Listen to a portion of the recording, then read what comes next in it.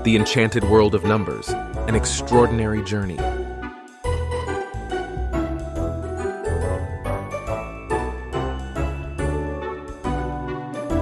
Hello, little explorers.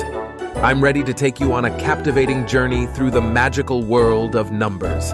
Get ready for an extraordinary adventure that will leave you in awe. In a small village with vibrant colors lived numbers from 1 to 5. Number 1, the smallest and curious. Number 2, a lover of friendship. Number 3, full of energy. Number 4, shy but intelligent. And number 5, the leader of the group. One day, number 5 gathered friends and announced, My friends, the time has come for an extraordinary adventure.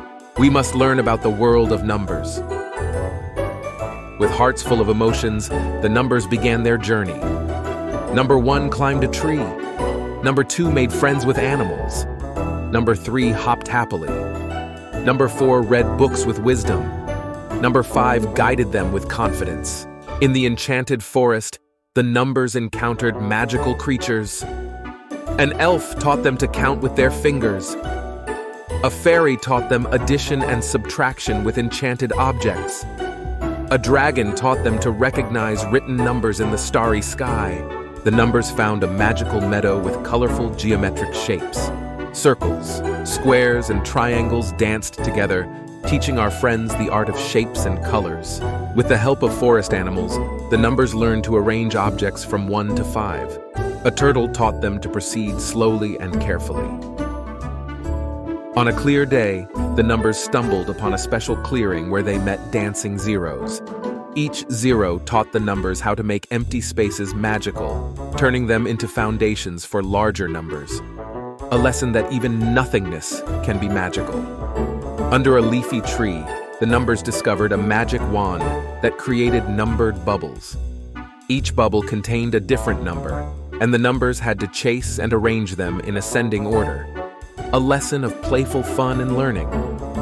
In the enchanted forest, the numbers embarked on a hunt for numbered colors.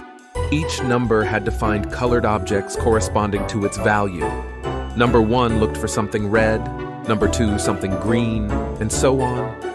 A lesson in connecting numbers and colors, making learning a colorful and enjoyable experience. In a flowery meadow, the numbers organized a special picnic each number brought a basket with a certain number of treats. The numbers sat in a circle and shared their food, learning to add and subtract in a delightful way. A culinary lesson of numbers. And so, little explorers, our journey into the magical world of numbers draws to a close. I hope you've enjoyed every moment of our adventures. Leave a like if you had fun, and subscribe to our channel for more enchanting numerical discoveries. See you soon for new adventures in the fascinating world of numbers.